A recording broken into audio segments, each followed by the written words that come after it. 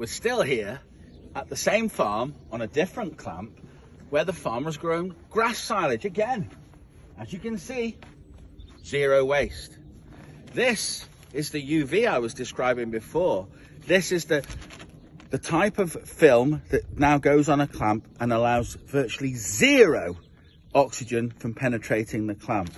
And the reason why is the strength of this 11 layer sheet. Watch this. No matter how much you pull it, you can't get through it. And that is the strength that these polymers have. And they're recyclable. Most black plastic is totally porous. And I'm going to show you something. There's some black plastic, some old black plastic happens to be over here.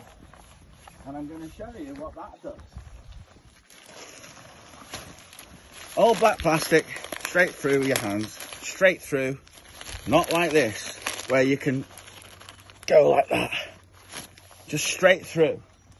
And that is because it is totally porous. 200 centimeters per cubic meter of oxygen straight through the top, wasting your clamp with an aerobic fermentation, taking more and more yeasts and molds into the fermentation and causing all of that grass to degenerate and waste at the top and at the sides. Whereas this farmer has zero waste.